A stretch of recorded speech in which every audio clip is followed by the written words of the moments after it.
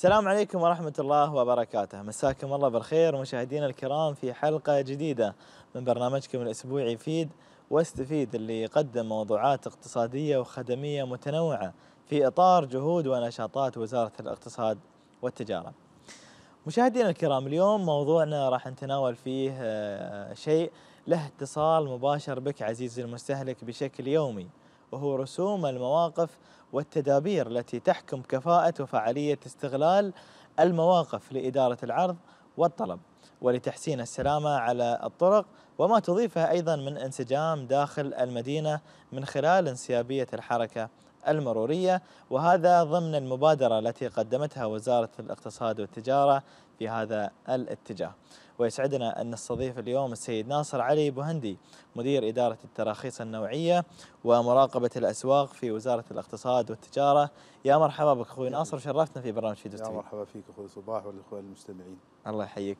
أخوي ناصر في البداية ودنا تعرفنا عن هذا الموضوع بشكل عام وعن المشكلة اللي كانت موجودة وشفتوها في الفترة الأخيرة اللي هي مشكلة المواقف آه خلينا نتكلم بشكل عام عن المواقف المواقف طبعا هي في المواقف المجمعات والمواقف العامة وفي المواقف اللي هي في الجهات الخدمية, الخدمية. نعم. آه طبعا في السابق وجدنا أن ما في تنظيم آه ما في انسيابية في الحركة المرورية آه مما أعطى الفرصة لبعض السواقين من جنسيات أخرى أنهم يقوموا يجون يصفون في المواقف هذه. بدري. بدري. وعشان يطلع من الموقف آه، يطلب منك إنك على أساس انه بمقابل مبلغ معين مالي. جات الشركات وقدمت خدمة الخدمة هذه إن خدمة المواقف صف المواقف. آه، وصف المواقف للتحكم في عملية الدخول والخروج. طبعا في السابق كانت المواقف آه، في المجمعات التجارية كانت ما يحكمها شيء طبعا. وكانت الحركة انسيابية الحركة المرورية داخل المجمع آه، يعني غير منتظمة تماما. وكان لين جات الشركات ومسكت الإدارة هذه آه، ونظمت العملية. ولدرجة إنهم ركبوا أجهزة. تعرف أنت قبل ما تدخل المجمع كم المواقف اللي اللي فاضيه على أساس إنك تقدر آه، تشغلها. إحنا لاحظنا إن طبعا هذه الشركات حطت رسوم بس لاحظنا إن الشركات قامت ترفع بشكل غير بشكل مبالغ فيه. مبالغ فيه. فعملنا دراسة مستفيضة في الموضوع والدراسة هذه شاركنا فيها جهات آه، في الدولة عديدة في الدولة وإضافة إلى أن عملنا إن عملنا دراسات مقارنة في الدول المجاوره والدول الأجنبية.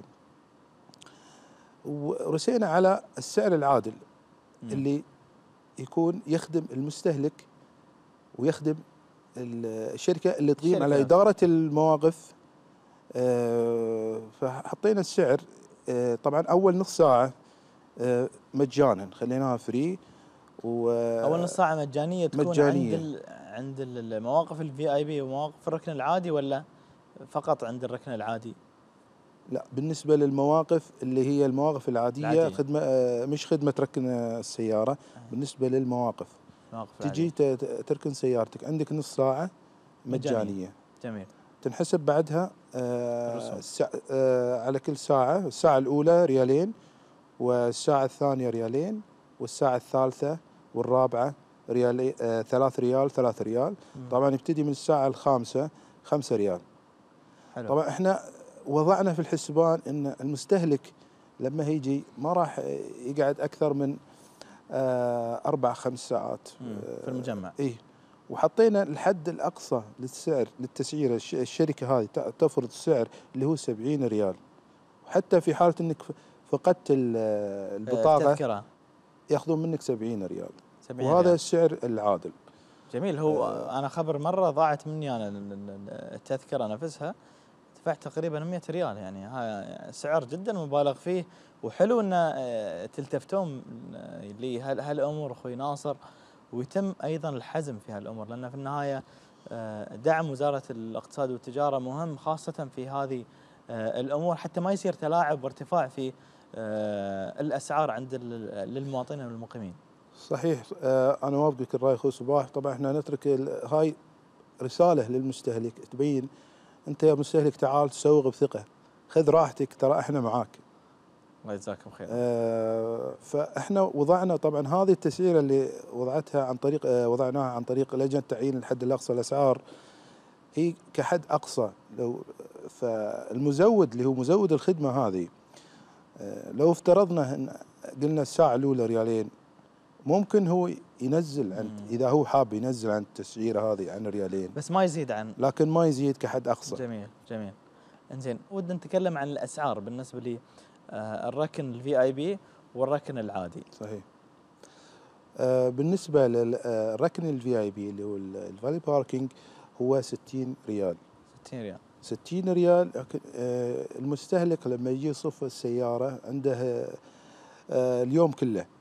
VIP 60 ال VIP اليوم كله. لكن ما في طبعا مستهلك راح يقعد يخلي صحيح. سيارته ويطلع برا أو يخليها فترة طويلة. لكن آه، حطينا كحد آه، 60 ريال عنده اليوم كامل. جميل. ونفس الشيء خدمة الركن العادية 30 ريال. ال maximum إي كحد أقصى كحد أقصى.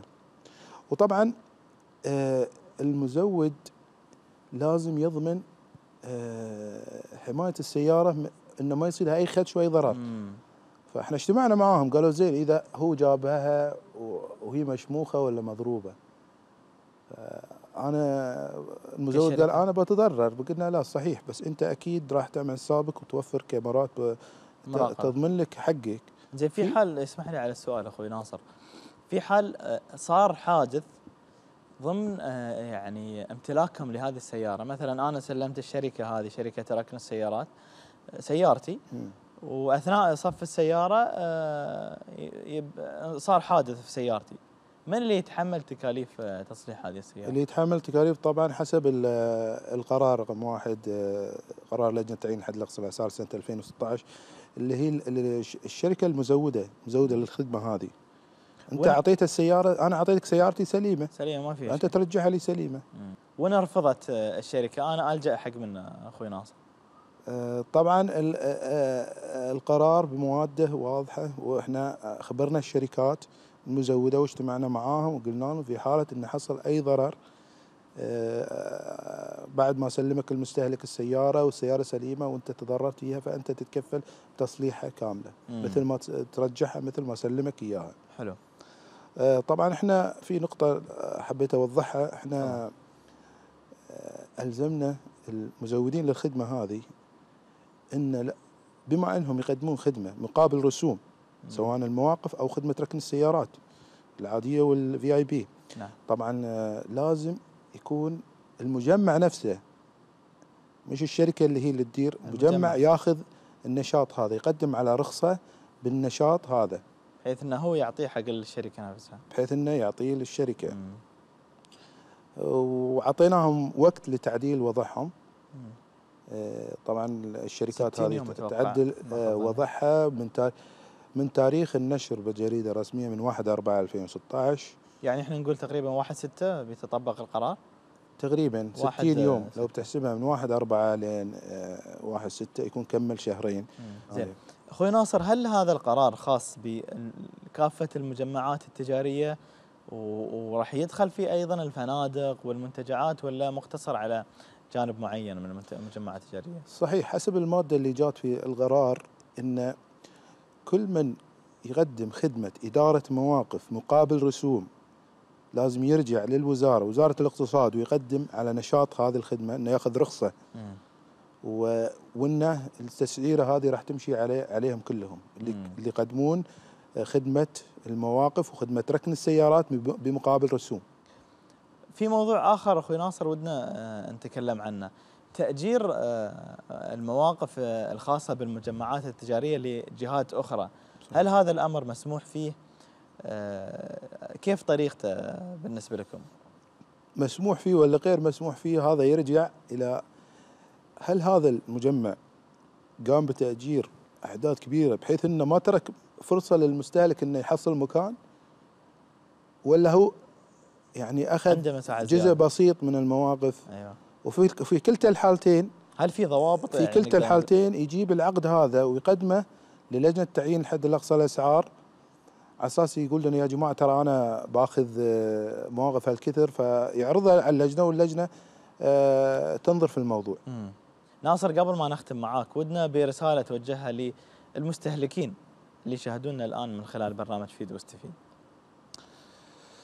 أوجه رسالة لجميع المستهلكين آه، أقول لهم لا تخافون ترى تعالوا في أي وقت وتسوقوا بثقة وخذوا راحتكم ترى إحنا معاكم ترى خذوا كونوا على علم إن وزارة الاقتصاد ممثلة في قطاع شؤون المستهلك إداراتها يعني يقومون بمجهود جبار آه، لتوفير آه، الراحة للمستهلك وإعطاء إحساس لا المزود ولا أي شخص يقدر آه، يتعدى يتعدى الأسعار أو يرفع لأن هناك في تسعيرة وثابتة والمستهلك بعد يقدر في حالة إنه وجد إن مخالفة أحد المزودين الخدمة رفع لو لو قلنا نص ريال رفع عن أو ربع ريال رفع شو اللي يقوم فيه المستهلك؟ آه مجرد إنه يقدر يتواصل بالخط الساخن 16001 أو وسائل التواصل الاجتماعي اللي طبعا الجماعة ما مقصرين متواجدين على مدى ال 24 ساعة. آه ف والله أنا في مكان أخوي ناصر أنا يمكن قلت لك إياه تحت الهواء. آه يعني رسومه جدا عالية خاصة مواقف الفي اي بي فإحنا بننتظر القرار وبننتظر إنه تمر ال 60 يوم. وإذا كان السعر للحين نفسه أنا بصور لكم إياه وبطرش لكم في وسائل التواصل الاجتماعي. كنا على علم يعني إن المزودين همهم الوحيد إنهم يلتزمون هذا أهم شيء بالقرار ذي لأنهم يوم جو وقاموا على إدارة المواقف وخدمة الركن هذه هم كان همهم الوحيد توفير الراحة للمستهلك صحيح. وتنظيم انسيابية المرور. بالتأكيد أخوي ناصر آه، المستهلك هو صاحب المصلحة الأولى وهو أيضا المسؤول عن آه، نقصها بسبب تقصيره في تمسكه في حقوقه سواء لقل الوعي أو لضيق الوقت أو أي سبب آخر. لذلك لابد أن يتحمل دوره في حماية حقه ويتواصل أيضا مع القنوات الرقابية الموجودة في آه، الدولة عبر وزارة الاقتصاد والتجارة أو عبر أي وزارة موجودة عندنا في الدولة. نشكرك أخوي ناصر على تواجدك معنا وشكرا على المعلومات اللي قدمتها لنا. الله يخليك يا أخوي شكرا لك. كل هذه المعلومات عزيزي المشاهد تساهم في رفع وعيك تجاه مالك وما عليك من واجبات وحقوق كمستهلك. فأنت الهدف الذي من أجله تسن كل هذه القوانين وتنطلق كل هذه المبادرات. والحين مشاهدينا الكرام قبل ما نختم معاكم حلقتنا. خلونا نتعرف على مصطلح هذه الحلقة وهو شكوى المستهلك أو شكوى العميل وهو تعبير عن عدم رضا من جانب المستهلك للطرف المسؤول ويمكن أن يوصف أيضا بالمعنى الإيجابي على أنه تقرير من المستهلك يتضمن وثائق بشكل مشكلة متعلقة بمنتج أو خدمة معينة. من بعد هذا المصطلح مشاهدينا الكرام وصلنا لنهاية هذه الحلقة من برنامج فيد. واستفيد. شكرا لمتابعتكم. ونشوفكم على خير الأسبوع الجاي. مع السلامة.